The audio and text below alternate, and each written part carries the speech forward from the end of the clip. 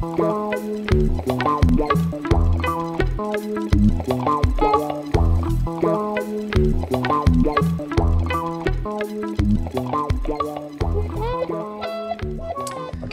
so and we proceed. So let me again uh, start with the space of configurations. So I take a uh, usually locally compact, uh, locally compact separable metric space. And then uh, the space of configurations on E is the set of subsets without accumulation points. As just as yesterday. And so this set has a Borel structure induced by occupation numbers as we discussed yesterday. So I write hash A of x for A Borel in E. A in E, bounded Borel. Bounded Borel. Uh, so is the number of particles, number of particles of x in E, of particles of x in A.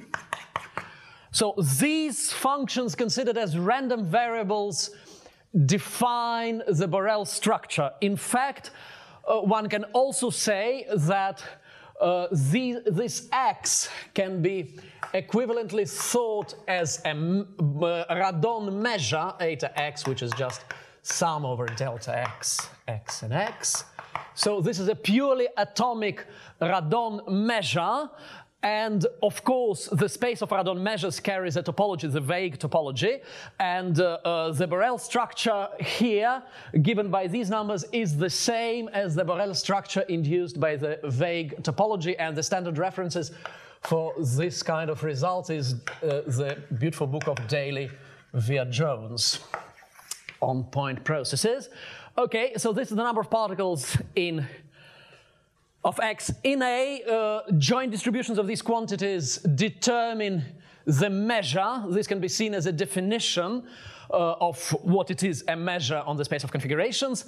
And in particular, as we discussed uh, yesterday, if I have uh, disjoint sets, disjoint bounded Borels, uh, then I can consider uh, the corresponding generating function, so I can consider exponential sum zi ai. So, and it is easy to observe that this, so i from 1 to l, that this is indeed a multiplicative functional. So as I said uh, last time, uh, it is interesting, it is useful to consider not only additive functionals, but in fact multiplicative functionals on the uh, space of configurations. So uh, such multiplicative function, such a multiplicative functional is well defined if the support of g minus one is compact, because in this case uh, the product only includes uh, finitely many multiples, and just uh, therefore, since this is indeed multiplicative functional, uh, specifying uh, specifying the uh, uh, values of the specifying the expectations of all multiplicative functionals defines a Borel measure uniquely. And so now an alternative definition of a determinantal point process, which is similar but in many ways more convenient, is that again the space E carries a measure, so mu mu is a sigma finite measure on E. So again, uh, it is useful to think just that uh, E is R or C or, or the disk, uh, and mu is just the Lebesgue measure. This, the, our, all our examples will be of this type, and then I consider a locally traced class operator, locally traced class operator on. So in other words, an operator given by a kernel, locally laced class operator acting in L2 in L2 in mu. And uh, uh, so it's an operator given by a kernel. Pi f is integral pi x y f of y d mu of y. An operator admitting a kernel, and the kernel, so locally traced class means that the, the, the trace of the kernel, trace of the kernel uh, surrounded by an indicator of a bounded set is indeed finite, so B bounded Borel. So much in the way we saw in the talks of Estelle. Uh, so, and uh, just of x, and here we have integral over E. And then a point process is called determinantal if the expectation of psi g is equal to determinant 1 plus g minus 1 pi, if there exists such a kernel. So there is a little, so I want to write it like this, and in fact, you'll see in a moment why it is useful for me to write it like this. But in fact, if I want uh, this determinant would be then the Hilbert-Carleman determinant. If I want to have the usual, uh, if I want to have the usual uh, Fredholm determinant, then I have to write 1 plus g minus 1 pi, and I put on the other side the indicator function of b, where, where b is the support of g minus 1. So, like this. So, and this is, uh, uh, so a point process is called determinantal if this holds for any g, for energy. So for energy. This is the key property defining a determinantal point process. So it is clear from what has been said so far that G is a function. G is a function. G is a function on, on E. G is a function on E. Let's say bounded. Bounded and distinct from a measurable bounded Borel and, and distinct from one only on a compact subset. Yes? Yes, does it make sense, Tamara? Yes? So it is clear from what has been said so far that such a definition defines the point process uniquely, because indeed it defines all the joint distributions of all the occupation numbers. Uh, Pierre will do the exercises and uh, you can quickly do on your own. It's equivalent to the definition with correlation functions. It's, uh, it's called uh, uh representing a determinant as a series in terms of traces. So it's equivalent to definition with uh, correlation functions. And the question arises, do such processes exist? For what kernels, for what kernels do such processes exist? This question in full generality remains open. In fact, there are examples of kernels for which uh, we do not, uh, for which we do not have a suitable theory. So uh, let me very briefly say that for uh, such examples as the Dyson-Brownian motion, Dyson-Brownian motion sampled at several distinct moments of time gives a multi-time determinantal point process, but there doesn't exist a general theory of, for such kernels. So uh, we, we have a large class of examples, but there does not exist a general theorem which uh, guarantees existence of such determinantal point processes. Nonetheless, there does exist a very beautiful uh, general theorem, so with a beautiful history also. So it was, uh, it was started by French physicist Odile Macchi. She works at Saclay. Odile Macchi, who gave this definition in 1975. So, and she proved the first version of a theorem. In fact, she proved the theorem that if pi is self-adjoint and a strict contraction so that's what she proved, strict contraction. Then this measure exists. Okay, let me, let me introduce let me introduce one piece of notation. I will denote uh, the determinantal measure. I will denote P corresponding to pi.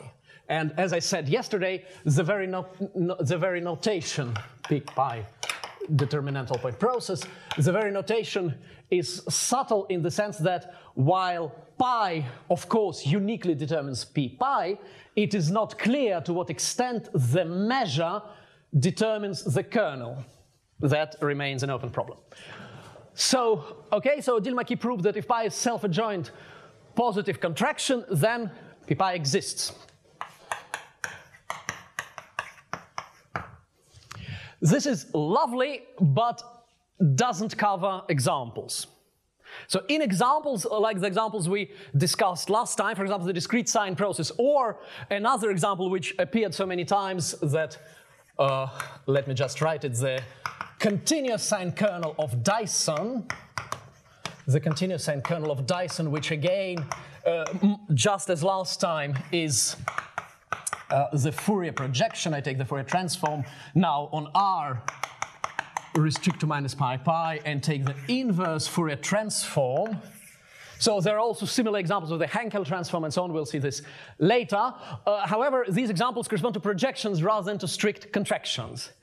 And in fact, this took 25 years and was done by Alexander Borisovich Soshnikov in the year 2000, and also uh, independently and simultaneously by Shirai and Takahashi in Japan. So, and this is the uh, Macchi-Soshnikov theorem. This is the Macchi-Soshnikov theorem. It exists, and as I said, it is unique uh, tautologically. So, and it is a general, uh, a general statement which covers by far most, even if not all, examples. So it doesn't cover the multi-time examples for which we lack a clear general understanding. And as I said, Last time, uh, and as it has emerged in many uh, courses, the, the course of John and the course of Brian, uh, uh so their, uh, the determinant point process have a cousin, Pfaffian point processes, where the determinant is replaced by Pfaffian, but there does not exist a general theorem of this type for Pfaffian point process, or rather there exist some theorems of Kargin, but they are disjoint from examples. So the sine process has a Pfaffian cousin, and there is a very clear algorithm for forming a Pfaffian kernel, and all the determinantal processes essentially, or many of the determinantal processes we discussed and will discuss, have a Pfaffian cousin, but we don't have proof, we don't have a reason for existence of this Pfaffian. We don't have a general result for existence of such Pfaffian point processes. This remains an open problem uh, to, uh, to which there doesn't, it, it doesn't seem clear how to approach it. At the same time, the Macchi-Soshnikov theorem can be proved in one line, and I, let me sketch this proof. So first take a finite range projection. First take a finite, so proof, sketch.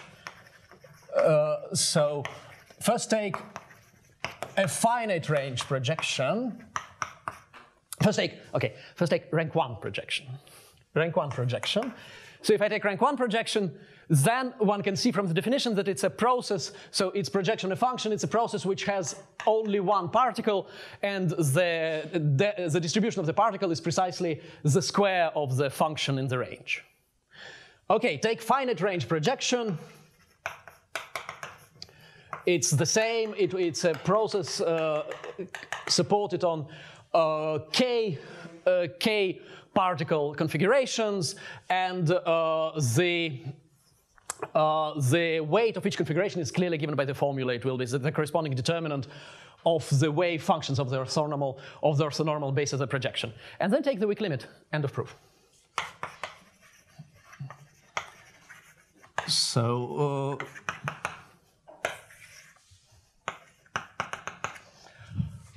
okay, so uh, now uh, the, uh, as I said, this gives a very wide class of determinantal point processes, but uh, my aim here is to concentrate rather on specific examples and on properties of the specific examples and uh, let us uh, for some time stay with the sine process or if you prefer the discrete sine process from last time so S alpha xy is the discrete sine process I changed notation slightly from last time but very slightly where here uh, where, so it's the same, but on the uh, circle. Please observe that uh, there is, uh, so here xy in z, and here xy in r. So please observe that the continuous sine process is only one. I can put an alpha here, but it will be killed by homothety.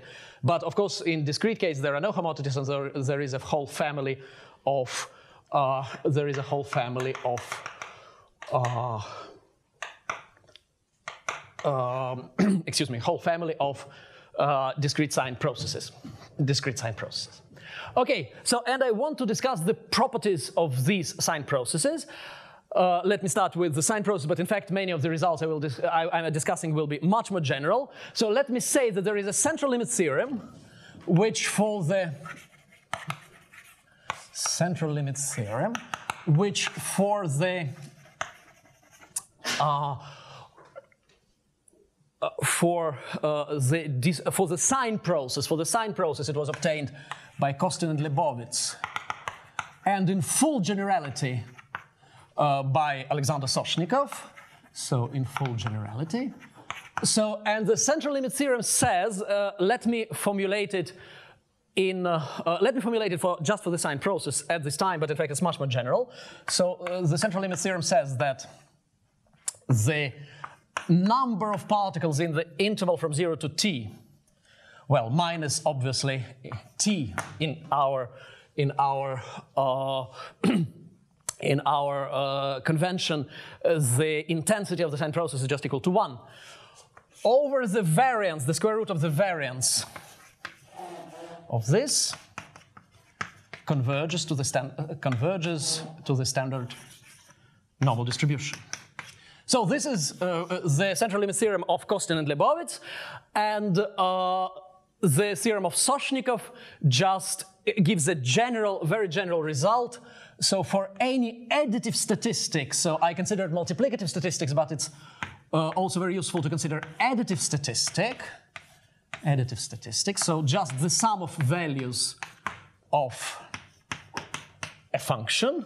So just the additive statistics minus its expectation and over its variance. So f epsilon, f epsilon, let I, I, will explain in a moment, over the square root of the variance s f epsilon converges to the standard converges to the standard normal distribution.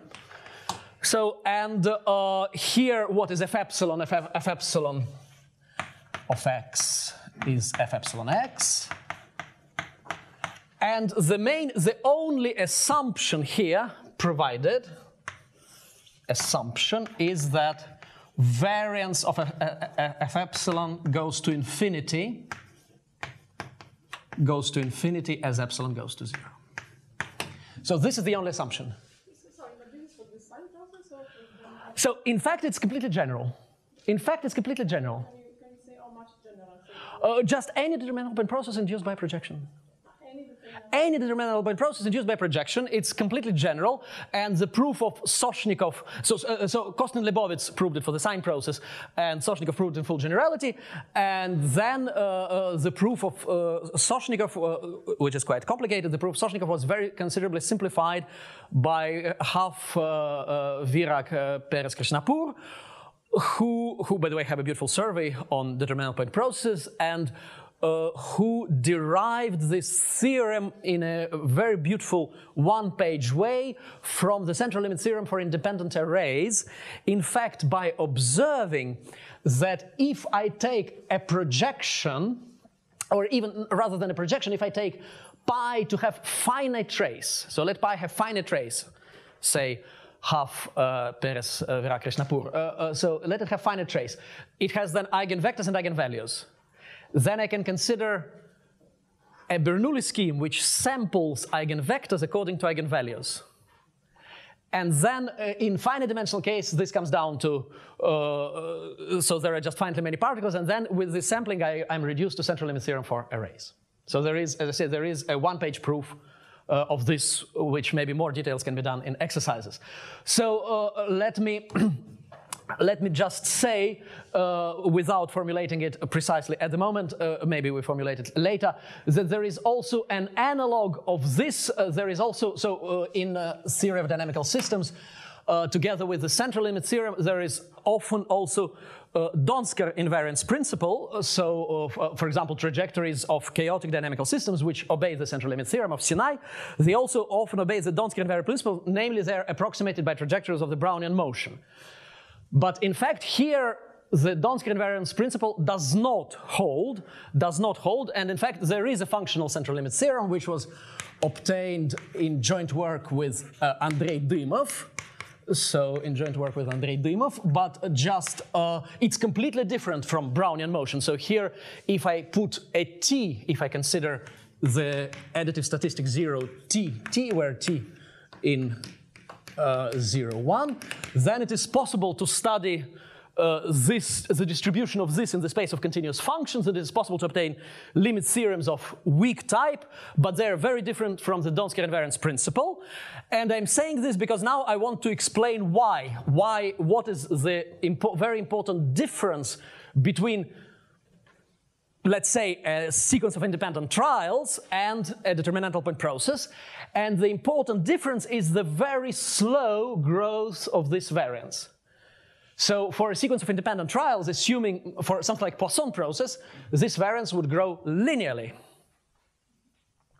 On the other hand, for determinantal point processes, this variance grows logarithmically, and there is a very uh, simple reason for that, and I will write this. Variance of SF, this is a beautiful observation, and I'm not sure who made it first. So variance of SF can be computed as, as in fact, a Sobolev norm. Sobolev norm. So uh, the same Sobolev one half norm that appeared in the uh, uh, course of Estelle. So the one half Sobolev norm. Here we go. xy square d mu x d mu y.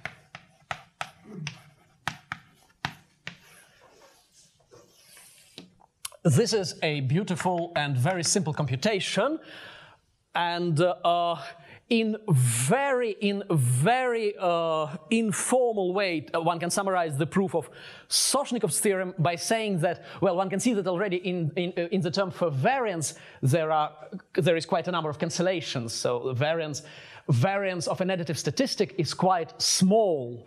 And so uh, Soshnikov computes high accumulants, high accumulants of additive statistics and manages to bound them, in, in fact, in terms of variance of the function f and of the variance of powers of the function f and uh, uh, uh, just by using uh, various commutation relations for the for the cumulant, and uh, just uh, this allows him to say that the other cumulants go to zero because the variance is quite small.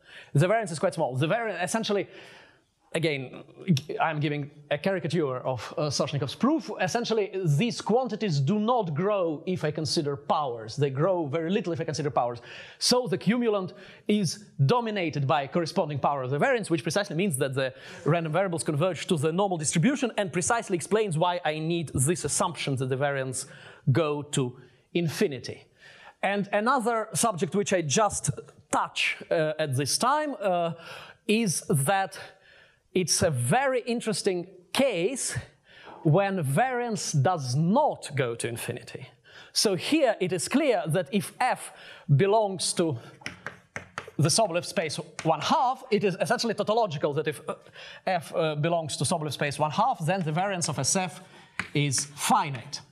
Again, let, for concreteness, let us think of the sine process, but in fact, uh, most of what I say holds for much wider class of determinant process. I should say that our functional central limit theorem is only proved for the sine process, whereas we believe it should hold uh, in, in much greater generality. So the variance is finite, and there is a very beautiful uh, central limit theorem of Johansson,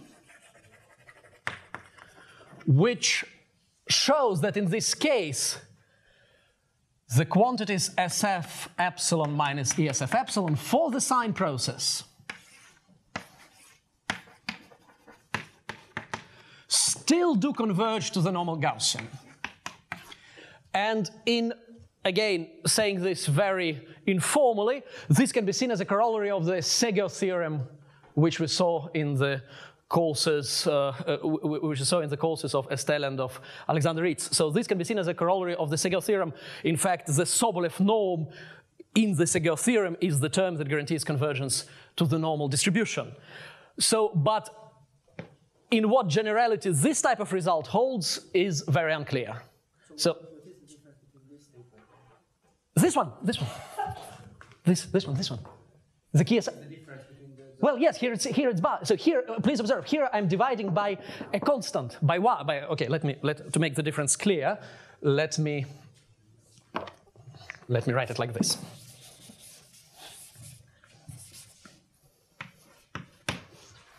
Okay, so without normalization, so the cancellations among particles are so precise that without normalization I have the central limit theorem. This is very beautiful result of Johansson. So without normalization, yes, here it is with normalization. And it holds in vast generality, whereas here it is without normalization and it is only established in very specific situations such as the sine process. Okay, so I have explained that, so my point here was that while determinantal point processes satisfy the central limit theorem, uh, in fact, they're very different from a sequence of independent trials in that the particles know a lot about each other. The particles, the interaction between particles is extremely long range. And in fact, this phenomenon is very well illustrated by the rigidity of Ghosh and Peres. Rigidity. So for determinantal point processes. So, and the statement of the Ghosh-Peres rigidity theorem uh, at first seems quite counterintuitive. So let me start with the discrete sine process uh, just for concreteness. Uh, and Peres started with a continuous sine process. So, uh, so I have uh, my measure on the space of binary sequences. And uh, I know all the sequence except the position at zero. So I know, oh, I know, I know this. I know this.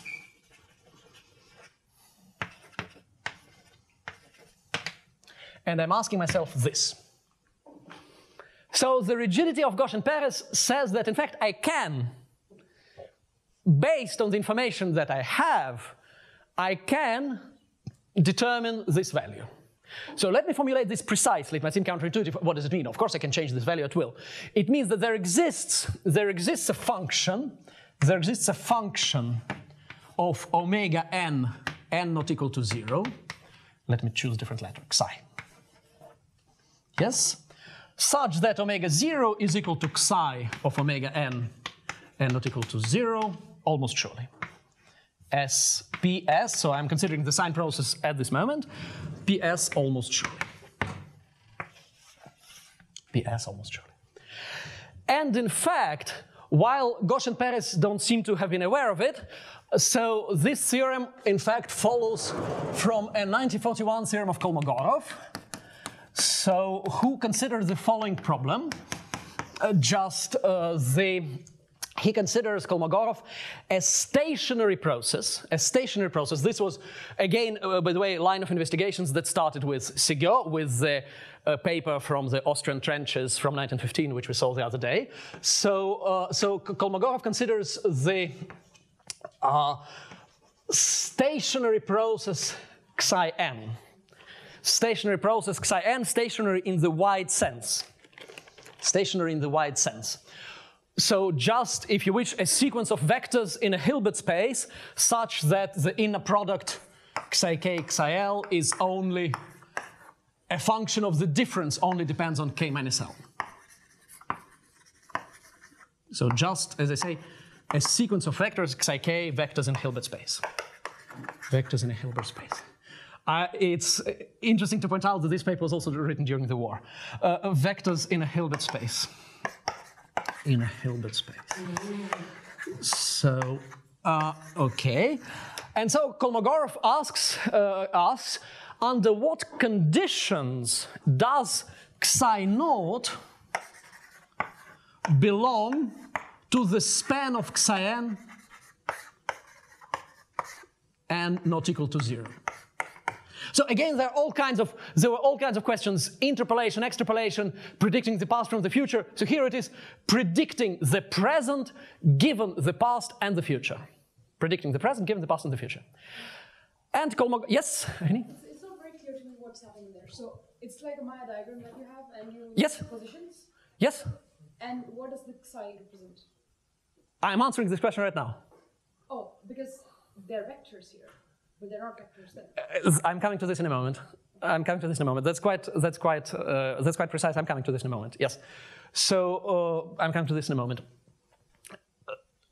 So, uh, okay, but is the statement clear of this? Of, of the is the statement or is the statement of the theorem clear? Yes. yes okay. Uh, the connection. I'm coming to this in a moment. Maybe I should have let let me change notation once again. This will be zeta. It's not the same sign.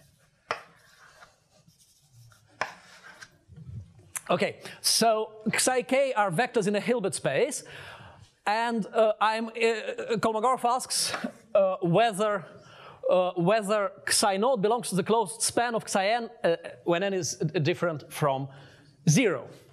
So, and in fact, Kolmogorov gives an answer gives an answer to this in terms of the spectral density of the process. So, if this quantity only, only depends on the difference, then in fact it's a theorem of uh, Herglotz and Khintchine, then uh, this is integral e to the i theta k minus L with respect to some spectral measure. And uh, again, the only case of interest for us is when the spectral measure has a spectral density. Because if it doesn't, then this holds. So rho of theta d theta. So this is just a situation in which we find ourselves. So the inner product is the inner product of the vectors if it only depends on the difference, is in fact the integral of a trigonometric polynomials. In other words, there is a spectral isometry between psi n and the sequence of trigonometric polynomials e to the i and theta, but considered, considered of course, on the circle, but with the measure rho of theta d theta. There we go. So not just with uh, Lebesgue measure, with some other measure. So this is the spectral isometry, spectral isometry. Uh, this always exists for a stationary process. And so uh, Kolmogorov's criterion is that this holds if and only if the integral the integral of d theta over rho of theta is infinite. So the spectral density has to take value zero at zero, and the integral has to be infinite, and then it belongs. So how does Kolmogorov prove his theorem? He proves his theorem in the following way. He considers, and now I'm answering your question, Ernie. So he considers uh, a sequence of additive statistics, a sequence of additive statistics, alpha k, uh, psi k, and he chooses them in such a way, so this is a sequence of additive statistics, let's say Sn alpha k n xi k, so sum over k, and he chooses them in such a way that the, that the in Hilbert space the norms go to zero. And, and of course alpha 0 is equal to 1. Alpha 0 n equals 1. So the norms go to 0, alpha 0 n equals 1. He chooses the sequence of additive statistics using this condition. Uh, and uh, then it is clear that if I have such additives, if I have such sequence of statistics, then psi 0 is indeed in the linear span of the other psi k, just by definition, because these one go to 0. So psi 0 can be expressed through the other ones. So then the question can be asked how to compute this. So now, now I come to the connection and I prove uh, the Ghosh-Peres theorem. So first of all, what are the xi k? Well, the xi k, it's clear what they are. The xi k, xi k is equal to 0 if I have a particle and to 1 if I have a hole. So these are just, so it's just natural, but it's just natural, uh, natural occupation, occupation number, zero and one, yes? So uh, uh, now uh, the question is, what about spectral density? And it's always so pleasant when you don't have to do some work because it's been done for you by others. In fact, John computed for us the spectral density the other day. Here it is. So the spectral density is this. So, and it is immediate to check that this integral is in fact infinite, being the integral of 1 over x. Uh, so uh, the uh, Ghosh-Peres theorem is proved completely. So the uh, psi naught is in fact a linear combination of uh, psi n's, and so the zeroth particle, uh, the zeroth particle the position of the particle at zero is determined by uh, whether, excuse me, whether there is or there is not a particle at zero is determined by the particles elsewhere.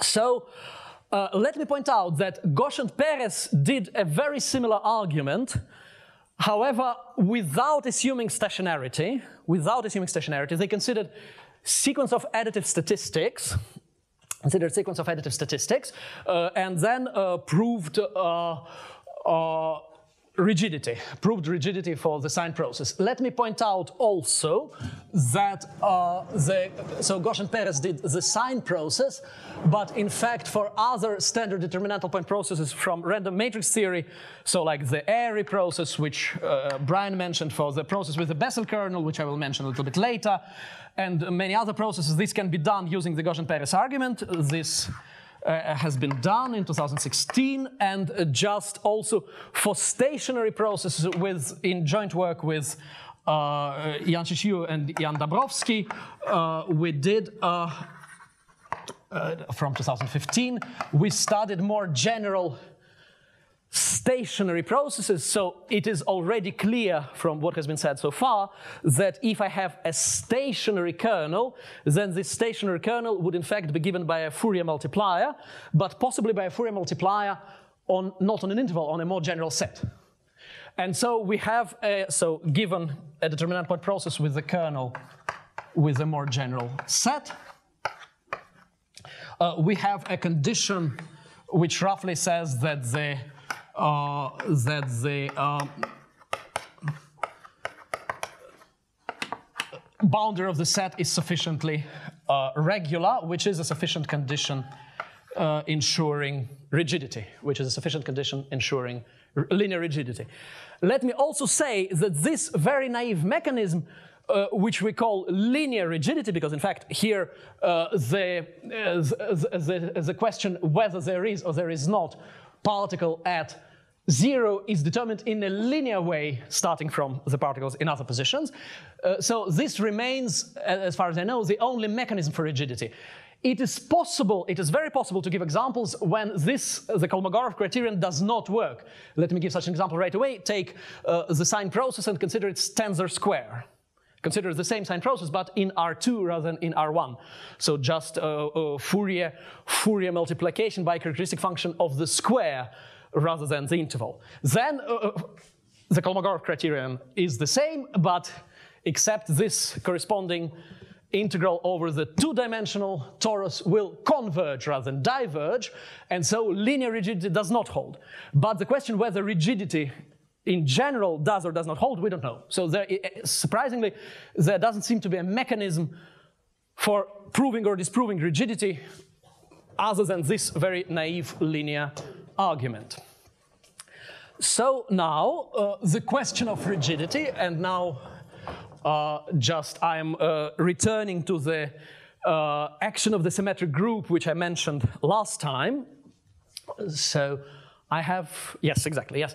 Uh, so, uh, so the question of the question of rigidity naturally brings forward the question that I would call the question of quasi-symmetries. So the question of the action of symmetric groups. So let me explain myself in detail. Uh, I consider, uh, let's start with the discrete sine process, though in fact uh, what I'm saying is much more general.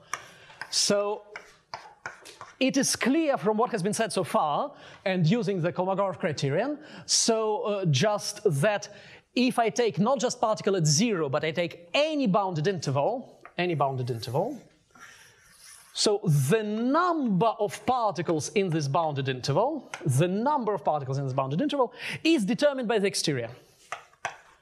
Is determined by the exterior. By the exterior.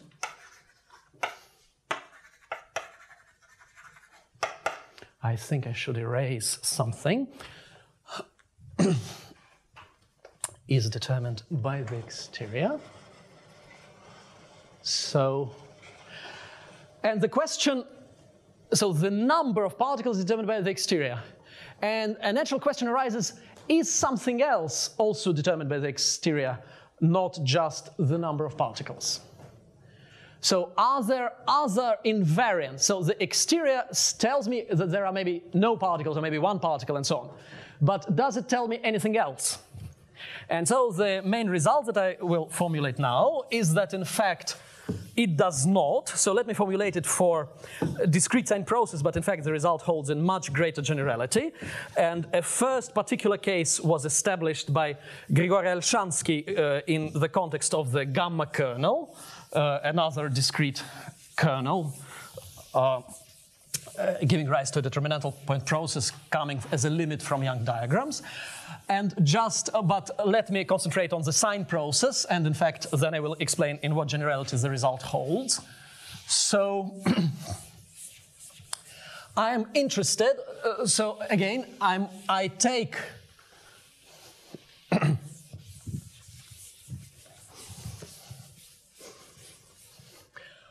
I take uh, the bounded interval, bounded interval. So I fix the exterior, I fix the exterior, fix the exterior. So as has been already said, uh, the number of particles is hereby fixed. Let's say there are three particles. So the, let us consider all possible arrangements of three particles in these positions. So the question is, do all these possible arrangements, do all of them have positive probability? Equivalently put, does the action of the infinite symmetric group, so I have uh, uh, my measure P S alpha, so the infinite symmetric group S infinity acts on the space Z by permutations, so, and of course acts on this measure as well. So the question, is, it obviously does not preserve this measure. In fact, uh, all S infinity invariant measures are the Bernoulli measures. This is the theorem of De Finetti. So, but uh, does it does it preserve the class of this measure? Is this measure quasi-invariant under the action of the infinite symmetric group? And the answer is yes, it is, and uh, this is uh, a result that's been published in 2018.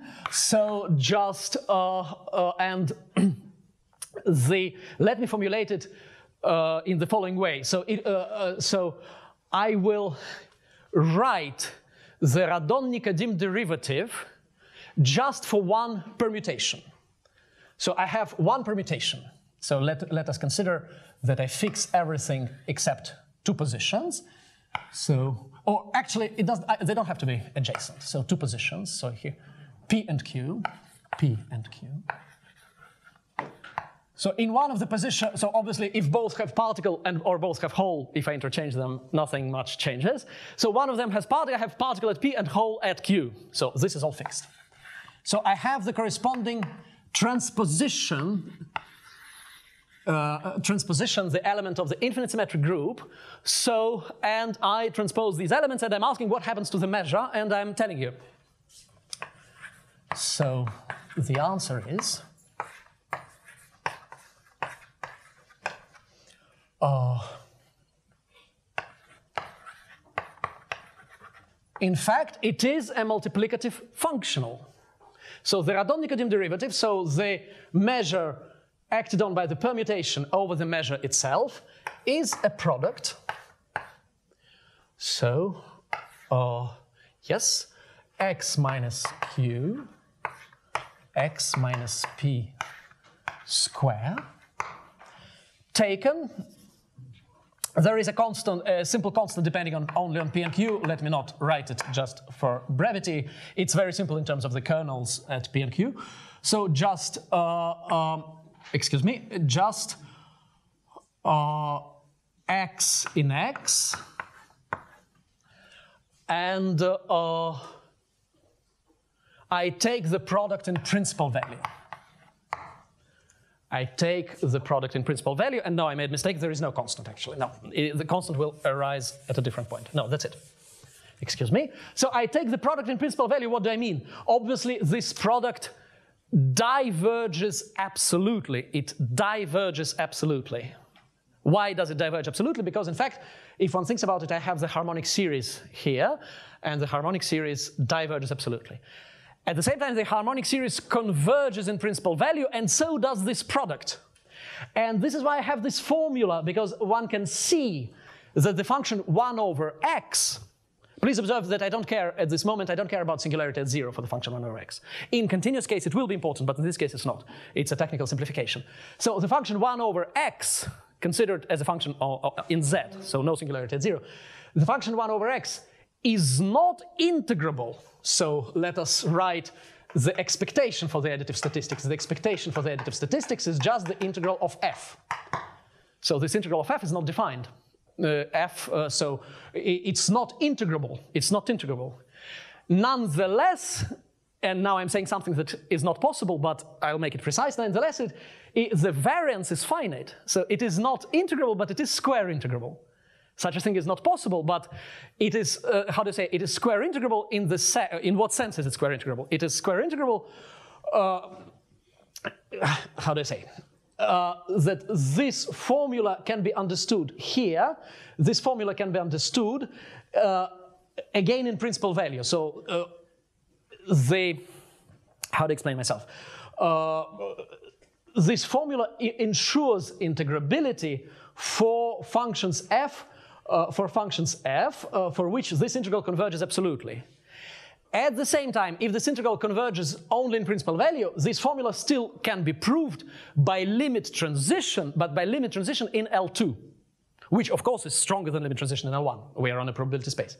So, so I'm trying to say that it is not immediately clear that this function is even integrable. So uh, looking just at the formula, it's not clear at all. But it is in fact integrable because it is it is square integrable. And it is square integrable, well, it is clear that uh, 1 over x minus 1 over y square uh, such integral converges because it uh, just, it's immediate. Uh, such, such, integral, such integral converges.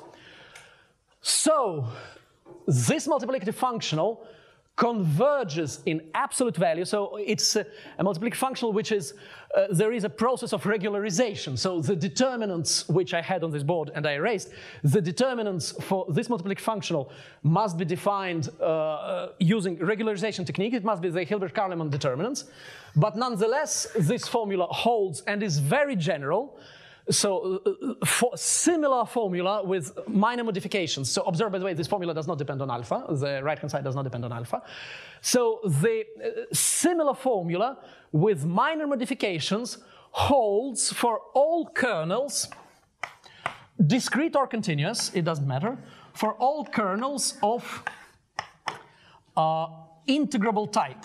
So kernels which have this form. Uh -huh, yes, okay. Uh -huh. For kernels which have this form, and in the one minute that I have, I will very quickly explain the mechanism, the mechanism which underlies the validity of this formula. So it is complicated, it is complicated to prove, complicated to prove that two measures are equivalent. Even for Bernoulli measures, if you have two Bernoulli measures, there is a not very simple theorem of Kakutani which shows when two Bernoulli measures are equivalent. It is absolutely not clear, and this is, this is from where Olshanski started, absolutely not clear when two determinantal measures are equivalent, when they're different by multiplication by function. At the same time, one can give a very simple answer to the question when two determinantal measures are different by multiplicative functional. I will formulate this question, and uh, uh, then I, I, will stop there. So I will formulate this, the answer, then I will stop there. So if I have, it's a very simple remark, which is one page long uh, uh from 2012, and just uh, uh, I leave verification as an exercise, so we can return to it uh, on Thursday, but uh, it just explains, thing, explains why such results can be proved. So let me consider a kernel pi, which is a kernel of projection onto some subspace L. So let me consider function g as above. So then I claim that the measure psi g, where psi g, let us recall, is multiplicative functional.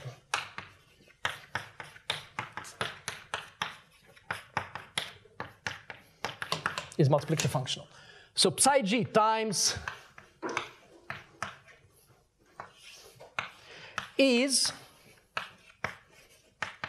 in fact, again determinantal, and with a kernel pi g where pi g is projection onto square root of gl. Projection onto square root of gl. So, and let me just illustrate, uh, illustrate this by a very simple example. Imagine you have an orthogonal polynomial ensemble.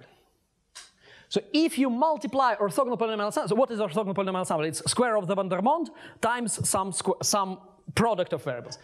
If you multiply this orthogonal polynomial ensemble by multiplicative functional, it is tautologically equivalent to multiplying the weight, to multiplying the weight by this multiplicative functional, to multiplying the weight. So, which precisely is the same thing as multiplying the range, the range being polynomials times square of the weight, multiplying the range by the root of the weight. So the statement is that this holds, this holds in full generality of determinantal point processes. This statement is not about orthogonal polynomial sums, it's in full generality of determinant point process. If I have a determinant point process, uh, which is just given by projection, I multiply it by multiplicative functional, uh, then uh, in fact I obtain projection on this range. And uh, just this, by the way, is one line, one line verification from definition, which I'll leave as exercise until tomorrow. And from this, uh, from this, by uh, uh studying the action of the symmetric group, uh, one obtains this result. Thank you very much.